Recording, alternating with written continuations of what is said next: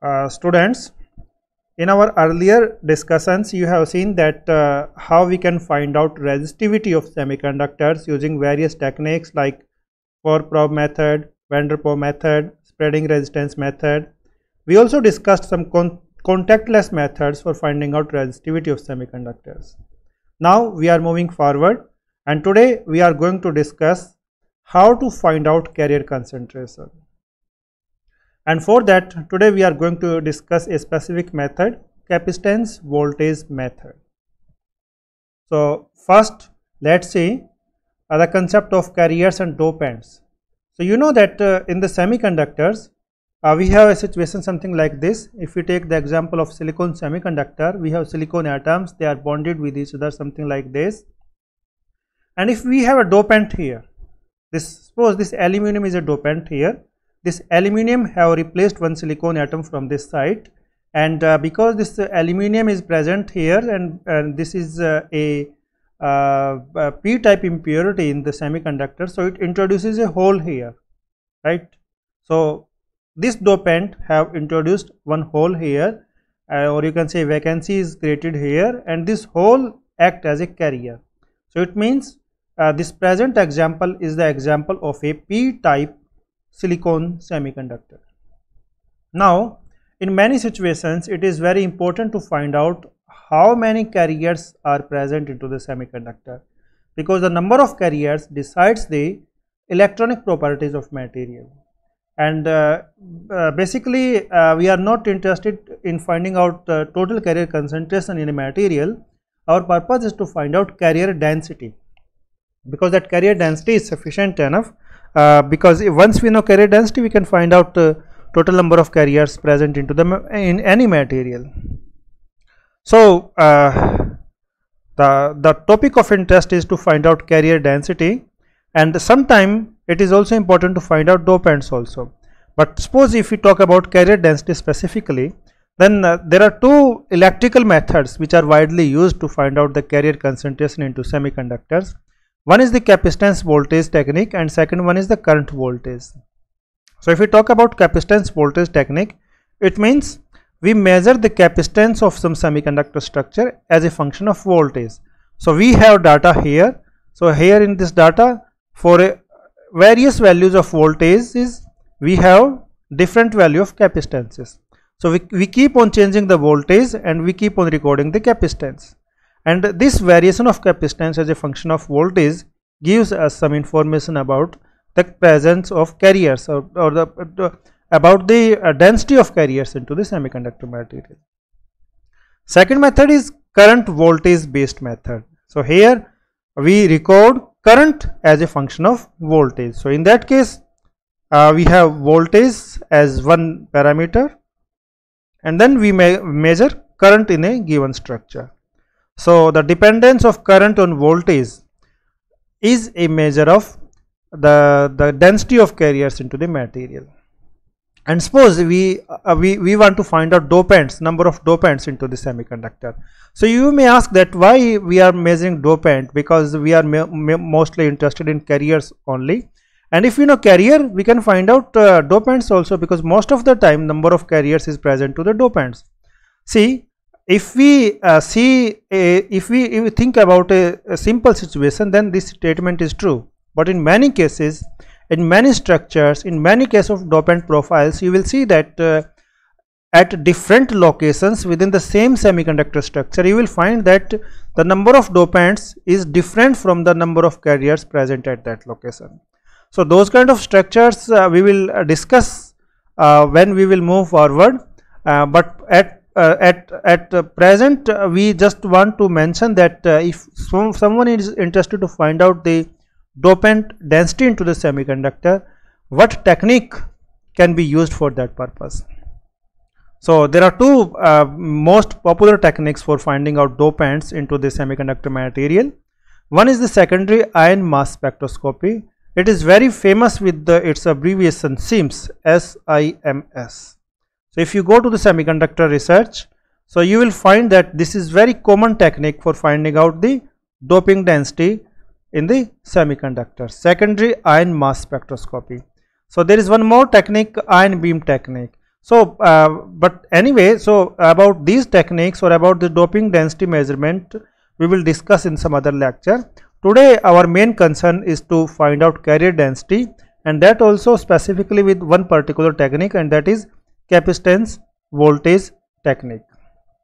In the next lecture, we are going to cover this technique. But today's lecture is more focused on the capacitance voltage technique for finding out the carrier density. Carrier, you know, is the free carriers which are moving into the semiconductor. They may be hole or may be electron depending on the situation whether the semiconductor is p-type semiconductor or, or n-type semiconductor. So, let us move forward for more detailed discussion about this particular technique.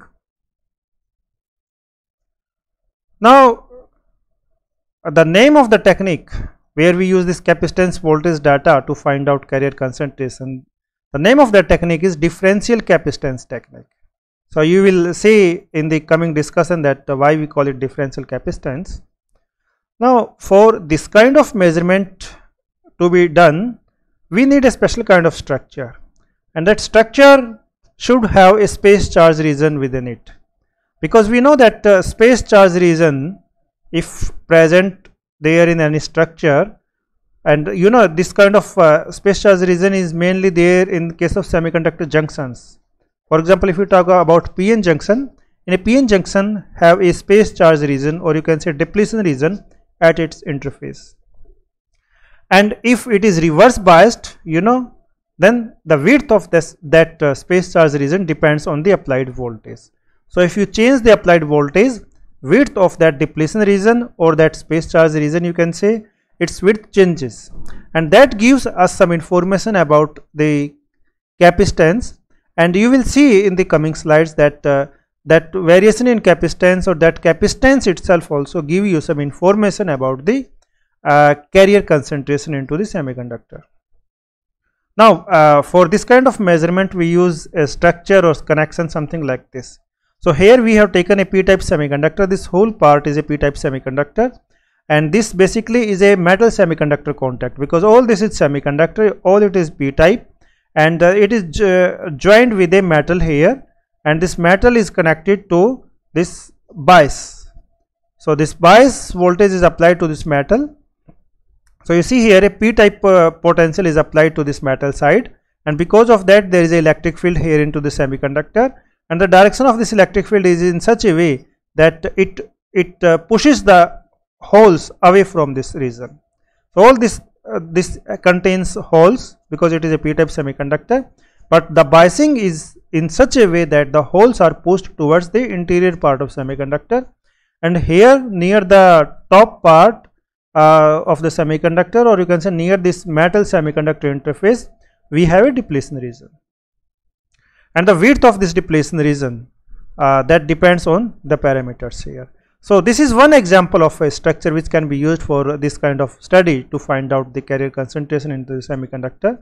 Uh, there are other kind of uh, structures also which we can use. So, the present structure is this Schottky diode. So, the arrangement which are used here they are also called Schottky diode or you can say metal semiconductor contact. Even PN junction can also be used. So, if we have a PN junction, we can apply that reverse bias voltage to that PN junction. So, at the interface, you know, there is a depletion region and that depletion region width depends on the applied bias. So, that kind of arrangement can also be used for uh, studying its uh, differential capacitance and that differential capacitance gives you information about the carrier concentration and not only PN junction even a MOSFET can also be used there. You know in case of MOSFET also there is a depletion region just below the gate contact and between the uh, source and drain region. So, the width of that depletion region controls the conductivity into the semiconductor. So, that kind of structure also have capacitance and the variation of capacitance is uh, also uh, a function of uh, carrier concentration. So, from all these structures where there is a space charge region we can use and uh, we will vary the width of the space charge region as a function of voltage. So, how the, the width varies with the applied bias that is an indication of carrier concentration into the semiconductor structure. So, whenever we want to find out carrier, uh, carrier, carrier concentration we have to fabricate these kind of structure any one out of these uh, many structures which we discussed and we get the information. So how we do it that will be clear in the coming slides. Uh, so already I told you that applied bias DC bias that determines the width of this depletion region right? So if you increase this bias here the width of this depletion region will increase. And it means you can say width of uh, this uh, space charge region is increasing. Now here along with this DC bias we are applying a AC signal also. Right? This AC bias is also applied here. And this AC bias is like a type of uh, small variation here in the voltage here. That small variation which is superimposed on this DC bias it fluctuates the width of the depletion region and because of this fluctuation uh, uh, the charge here in the depletion region keep on changing like this so for example here if it goes to positive depletion region width will reach here when this uh, AC bias is 0 at that time depletion region width is here. So width of depletion region will keep on fluctuating like this. It means the, the, the charge which is present here in the depletion region that doesn't remain constant. This charge will keep on changing. Sometime it increases when the width goes up to here and when width come back to this position it again goes to the original value. So the charge here will keep on changing with the voltage and you know if the charge is fluctuating it's changing with the voltage uh, we define this kind of uh, behavior as a capacitive behavior. So the capacitance is a, a change in the charge for a given change in the voltage. Now here you see the charge which is present here into the semiconductor that is mentioned as Qs and the charge which is present here on the metal side that is Qm. So this metal side is connected to the positive terminal. So that's why there is a positive charge here. And the opposite side means semiconductor side, it will have a negative charge. You know why negative charge? It's a p-type semiconductor. So holes they are pushed towards this side. And you know if it's a p-type semiconductor, in a p-type semiconductor, if you remove holes from this portion, uh, what left behind is a negative ion. So that's why all this portion is negatively charged. So this Qm is equal to Qs means the total charge which is present here on this side is equal to the total negative charge which is present here. Only thing is the polarity of charges is different but the magnitude is same. So this capacitance can be defined in two ways like change in this charge on the metal side or change in the charge on the semiconductor side for a given change in the voltage applied voltage. But this sign is negative here because the charge which is present here in the semiconductor is negative right. Now uh, the the signal AC signal which is superimposed here during this measurement this signal frequency may be anything between 10 kilohertz to 1 megahertz so it can have some other value also but most of the time uh, during the measurements the frequency is chosen somewhere between these values and the magnitude of this uh, potential is also very small it is uh, so small it's about 10 to 20 millivolt so in comparison to DC voltage, it's very small. The DC voltage here may be several volt, but this is only few millivolt. So what is the effect of this? Its effect is only to fluctuate this boundary. The position of this boundary is not stable. It keep on changing in response to this AC signal. So in this structure you can see the profile is given something like this here. On the x-axis if we talk, uh, it is the depth from uh, starting from here. So if we are here, it's zero depth. As we move here, the depth is increasing. So if we are here at zero, it means we are at this interface. As we are moving towards this side, this depth is increasing.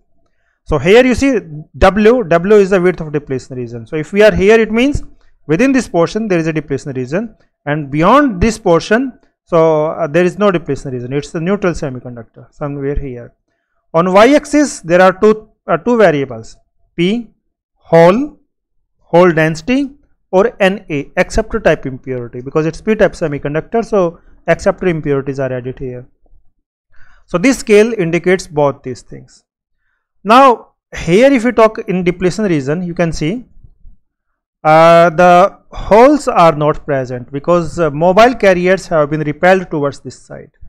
What we are having here is only immobile charge, Im negative ions and you see here uh, two kind of uh, indication, two kind of uh, uh, datas are plotted. Dotted line means they they accepted impurities, ion, ionic impurities, and this dark line means holes. So see here, only this uh, dotted line is present here. It means the ionic impurities or the ions which are present here or ionic charge which is present here that is still present in this portion because it is immobile. It cannot move. It will stay here. So it is indicated here. But within this portion if you talk about the free carrier concentration free carrier concentration is zero. You see px px means free holes as a function of x. So it is zero here because this is a depletion region all holes have been pushed towards this side.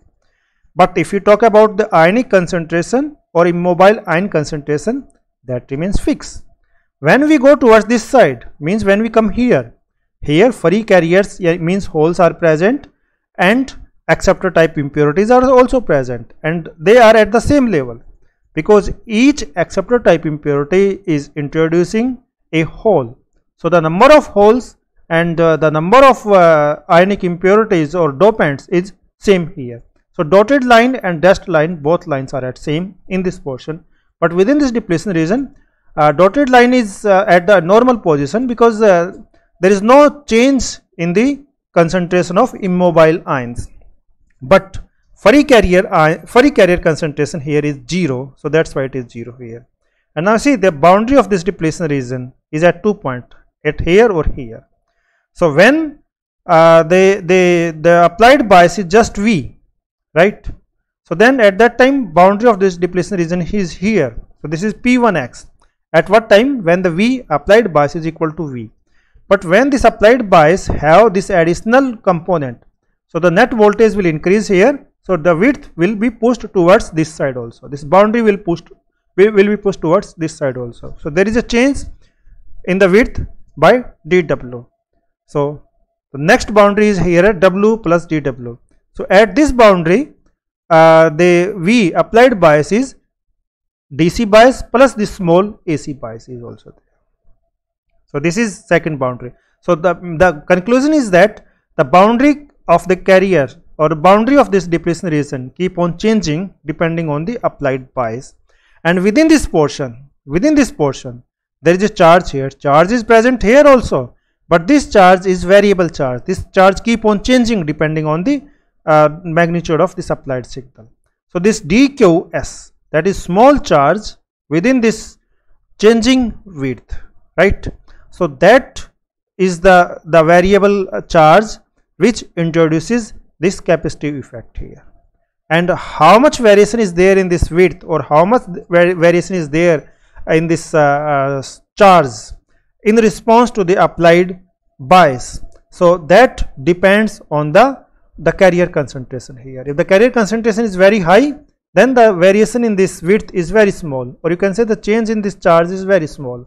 So how much change is there in the charge? That indicates how many carriers or how much is the density of uh, free carriers in the semiconductor material. So let's move to the next slide for more discussion. Now this diagram is shown here again so if we talk about uh, the charge which is present here, so first we will write this kind of journal equation for the charge. Q, you know, is Q. A is area of cross section of this uh, structure, and here we are considering all the possible components present into the semiconductor. Semiconductor may have intrinsic holes, intrinsic electrons. Semiconductor may have p-type uh, dopant, or you can say acceptor type impurity or donor type impurity. So all are shown here so intrinsic hole, intrinsic electron. So electron introduces negative charge, so that's why negative sign is there. Hole introduces positive charge, so positive sign is there. ND, dopant ions.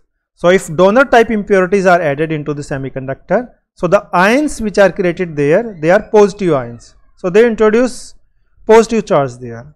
And if uh, there are uh, the p type impurities are added there, then they are acceptor type impurities so the ions which are there they are negative ions so they introduce negative charge here so whole arrangement is like this but here we are talking about a specific case uh, where there is a p type semiconductor and since it is a p type semiconductor only acceptor type impurities are there intrinsic impurities we are ignoring. So, we can write this expression something like this and this is our depletion region approximation for p-type substrate.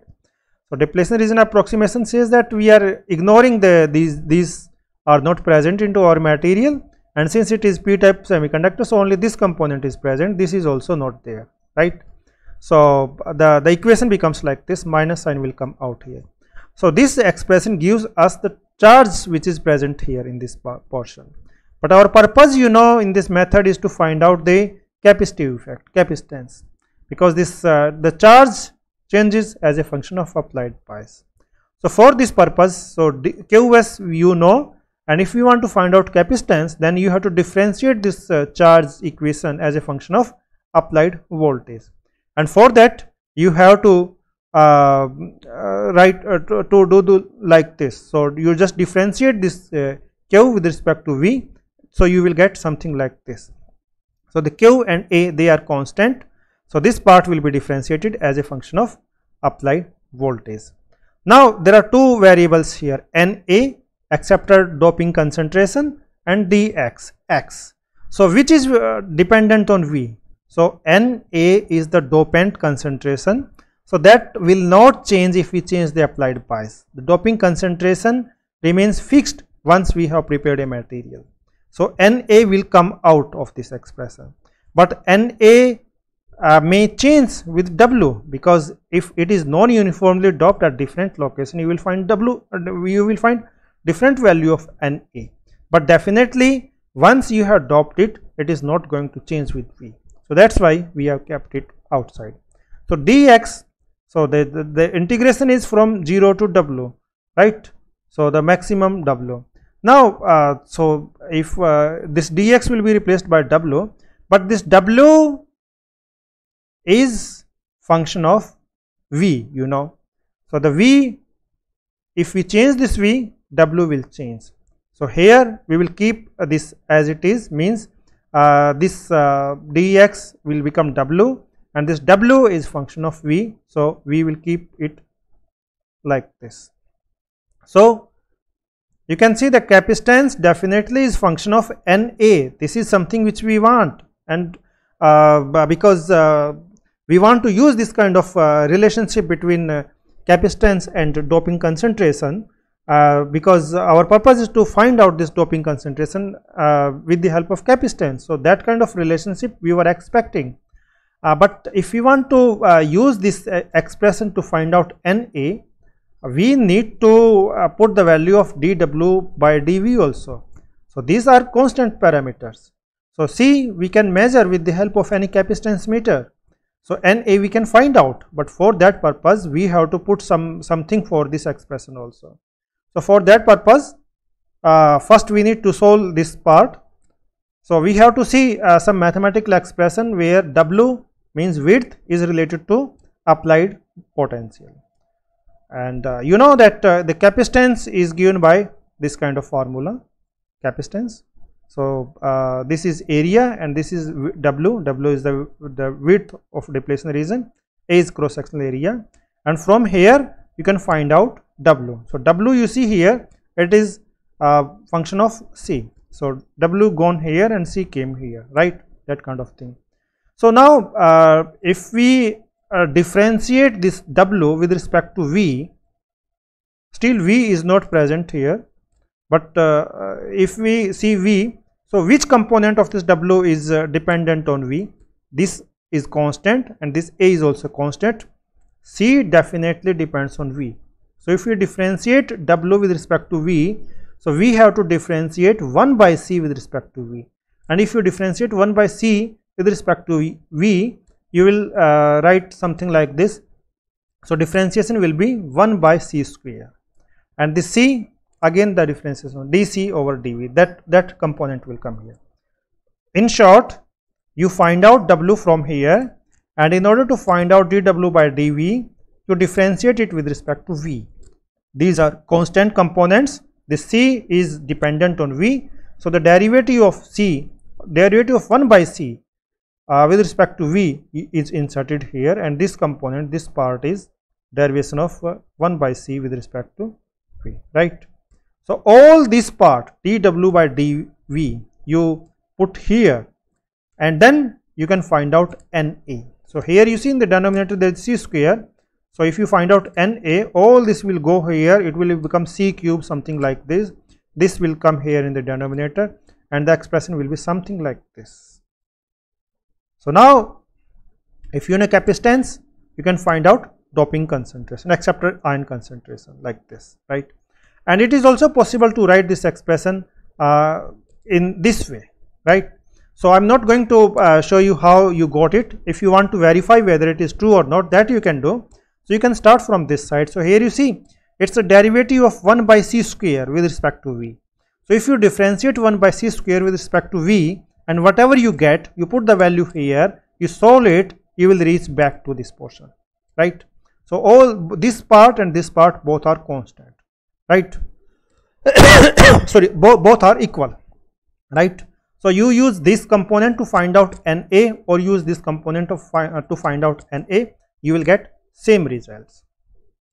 The interesting thing here is that this a a comes as a square term right? So it is very important that the device area is precisely known for accurate doping profile because if you make any small mistake in measuring the A, that mistake will appear in the value of NA significantly because here it is square of A, right. So, very accurately you have to find out A if you are interested to find out NA using this expression. Now, one more thing, you will say that uh, the title of lecture is to find out carrier concentration, but here we are talking about NA, this is doping concentration, not the carrier concentration. So, why I am saying that this method is giving us carrier concentration. So, we have to apply some logic to reach to the conclusion here. You see how we are doing this measurement, we are changing the applied bias and in response to applied bias some changes are occurring into the semiconductor and that is why we are getting some information about the carrier concentration. But here we are talking that it is doping density, but is it the doping density which depends on applied voltage now doping density is going to remain constant. So what component is responding into the material to the change in the voltage? When we are changing voltage, it's the free carriers which are responding. It's the free carriers which are moving from this side to this side. The free carriers holes are going from this portion to this portion. So we can say that all this measurement is giving us not the Na but this measurement is giving us the value of P. So this assumption we are uh, like with this theory we are applying and based on this theory we are saying that instead of uh, saying that it is dopant uh, profile as a function of W it's a, it's basically or it's actually the free carrier and in this case free carriers are holes the holes as a function of W which we are getting from this expression. Now, practically if you see the data then how you will see the profile or how you see you will see the data. Now, uh, when we talk about the carrier concentration, how carrier concentration changes as a function of position. So, here on the x axis normally we have x. So, means when we are going we are starting from here and we are moving towards this side how the dopant concentration means Na right? We can say this is Na or P whatever we want to say. So uh, we we can get carrier concentration from this equation or dopant concentration from this equation and both can be plotted here. So for this purpose uh, what we need to do we have to solve these equations as a function of x. But where is x here in this expression also there is no x, right. So, this expression have only these components and uh, C is there definitely.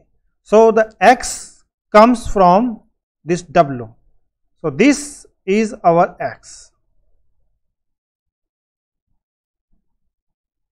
because this W gives you your location of this edge and whatever measurement we are doing using this equation that measurement is at this s in within this portion where there is change in the charge.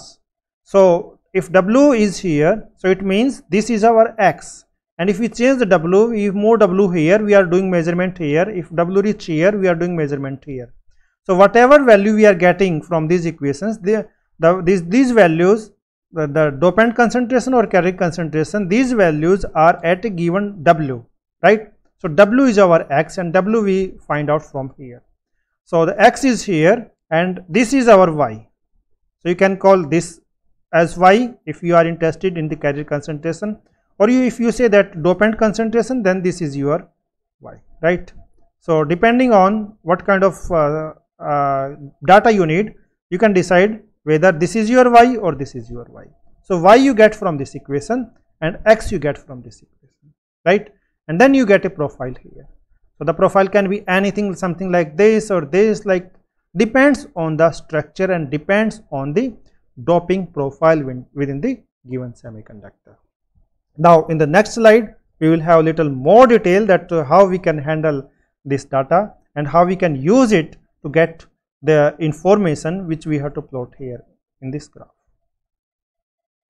Okay, so this is your important result from this. So this equation you have to remember if you want to uh, use this method to find out the carrier concentration as a function of W, right.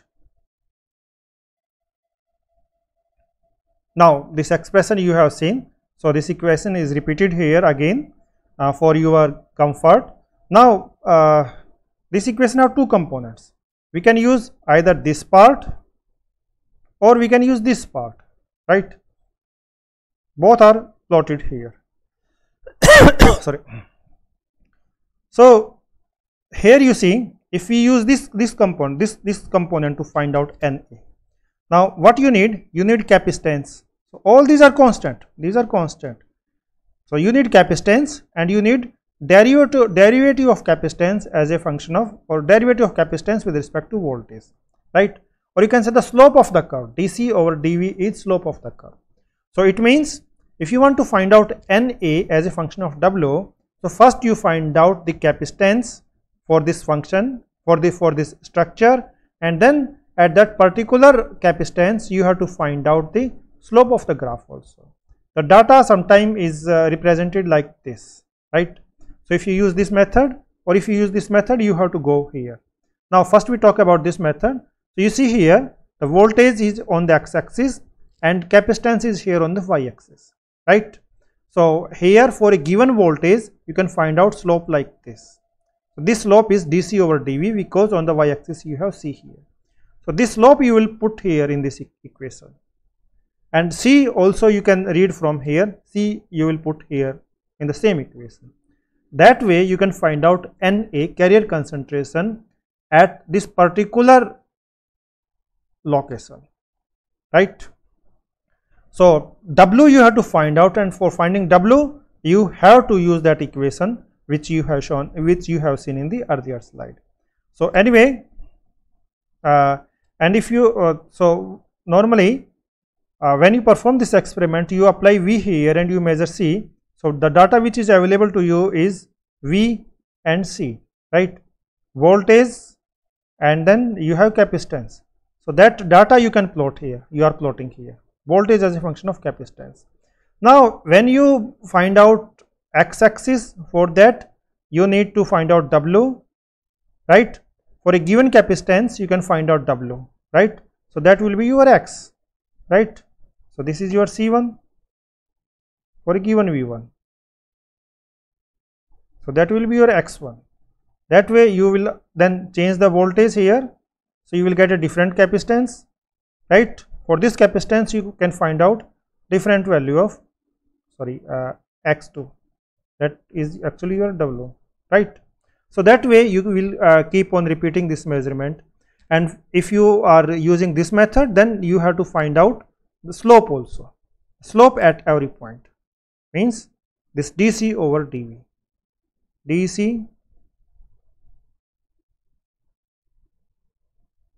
dc over dv so at every location you find out the slope and you put here right? This slope. And from this slope you will find out na right? So you will get this slope here. So you will get one entry at this c1 then at different v you will get different c. So you will get different entry. And from each dc over dv from uh, uh, from these slope values you will find out na so for that way for every v you have an A and you have w. That way you will have data and you can plot this graph like this. Okay. So here you have w and here you have na so in the earlier slide also i told you how to do it right? This is na and if you use this say this this format this format of this equation. So here you what you have to do uh, so uh, you have to find out slope of 1 by c square curve right so c data you are getting from here so if you want to go for this method so uh, from the c first you have to find out 1 by c square so the 1 by c square also you have to list from here so for every c you calculate 1 by c square here and you plot the curve, curve like this. So y axis 1 by c square here you have v. So at every location again you have to find out slope and the slope is of 1 by c square curve. So here slope was just c versus v curve right. So this is the difference here and here also that x axis will be given by the same formula right. So this method this formula will give you w. So for every v you have to see what is the value of C and for that V you have C from that C you will find out W means your X value. And from the slope of the curve if you are using this method from this slope you will find out NA at this particular value or you can say at this particular W right? And if you are using this method so for each again for each V you have C from C you have value of x right? And then you find out slope here and from this slope you find na at this value of w right? So you have different values of na for a different value for uh, for for many values of w right? And then you can plot the data here right? So this is the way that uh, you get uh, uh dopant concentration or uh, I told you in the earlier slide that uh, this dopant concentration can be considered as the carrier concentration because when we are doing when we are performing this measurement actually the free carrier concentrations are responding. So the, the dopant concentration is fixed it is not changing by changing the applied voltage. So whatever data we are getting here that is not actually NA that is actually our P right and this P as a function of W right and out of these two if we compare which approach is more better so you can see here in this curve this these two curves are for the same structure and for the same data right? But you see here in this graph slope is not constant and it's very difficult to measure slope at different location because it's continuously changing. If you are here then it's different slope. If you move a little bit here slope is different so it becomes very uh, there means there are a lot of chances that uh, you make mistake when you performing measurements with the help of this kind of curve. Rather if you are working with 1 by c square versus voltage graph you see the slope here is almost constant. So there is less curvature in the graph here. Sorry. So if you are moving from one point to other so there are very small change in the slope. So there are less chances that you will make mistake so you get more accurate results if you are working with 1 by c square curve as a function of v as compared to capacitance as a just capacitance as a function of v. If you have this plot um, then the chances that uh, or you can say the measurement of slope at different locations at different values of v is uh, going to uh, create problems in the further calculations right. Now uh, in the next slide we will see one example so, okay, so uh, first we will see uh, that same kind of measurement. I told you in the first slide that um, uh, it's not that only Schottky diode can be used for uh, performing capacitance voltage measurement for finding out the carrier concentration. We can also use MOSFET structures to find out carrier concentration into the semiconductor. Now, suppose if we are using this kind of MOSFET, uh, MOSFET structure, your semiconductor here, then here at the interface uh, you have depletion region and then there is the oxide layer and on the top there will be metal. Metal is not shown here uh, because uh, that is not going to uh, affect our discussion. So, the main thing is that uh, in the MOS structure the one capacitance which is present here in the structure is because of oxide and there is one more capacitance which is present here within the semiconductor and it is because of depletion region which is created inside the semiconductor. Now uh, these two capacitances are in series. So this uh, is oxide capacitance and it is given by this uh, simple formula of capacitance. A is cross sectional area and it is the um, permittivity of or you can say the dielectric constant of uh, this material oxide material and this is thickness of oxide and the capacitance of within the depletion region inside the semiconductor side near the interface that capacitance is given by this formula.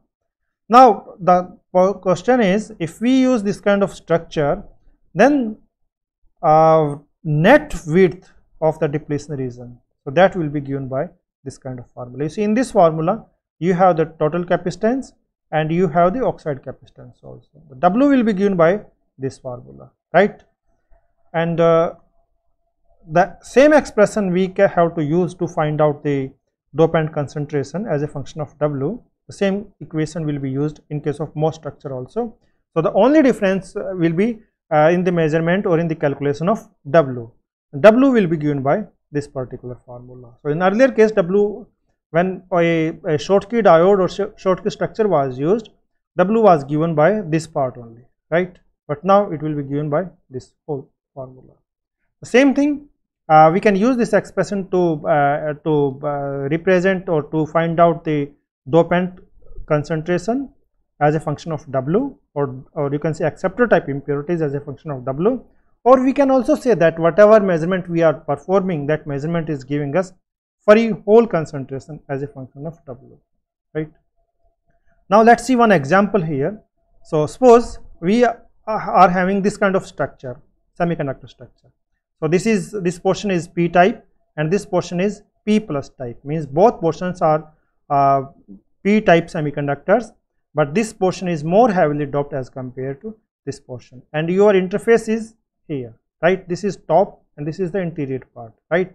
So maybe it's a heavily doped p type substrate and on that heavily doped p type substrate a p type layer is deposited here on the top.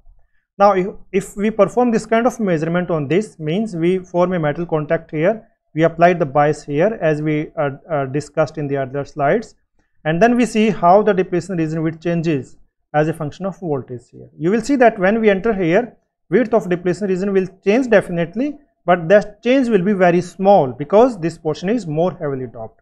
Now, if we see the data you see uh, the voltage is here on the x axis and the capacitance is here on the y axis right. So, this graph red graph is variation of capacitance as a function of voltage, but if we see the variation of 1 by c square as a function of voltage the graph is something like this right. So, uh, we can use uh, 1 by c square method or we can use uh, capacitance method to find out same information carrier concentration or dopant concentration.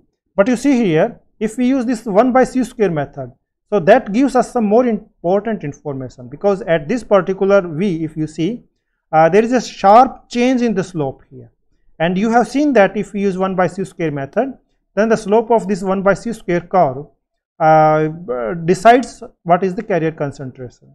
So it means at this point carrier concentration is changing right but if we see C curve then at this point there is no much change here right. So, that is why I was saying in the earlier slide that uh, 1 by c square curve gives you more accurate and more useful information uh, in term of uh, the profile or in term of variation of carrier concentration as a function of W. Now, here in this graph the data if you see x axis have a voltage, but when we talk about profile I told you on x axis we need W so, if we want to convert this uh, data the C V data or 1 by C square V data into the depth profile data something like this means here on y axis we have doping density on x axis we have depth. So, this V have to be converted into uh, W and uh, that uh, for that for this given V we have to see what is C from C we have to find out W and that data will be plotted here. So, the profile is something like this right so, up to this point the carrier concentration is almost same, but once we reach here then the carrier concentration changes. So, this variation is somewhere here. So, 1.6 uh, nearly 1.6 micrometer. And this change is reflected here also in this curve. So, you see the actual variation in the carrier concentration is well reflected in case of 1 by c square curve.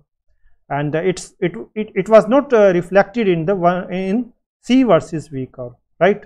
So it's always useful to go for this kind of thing.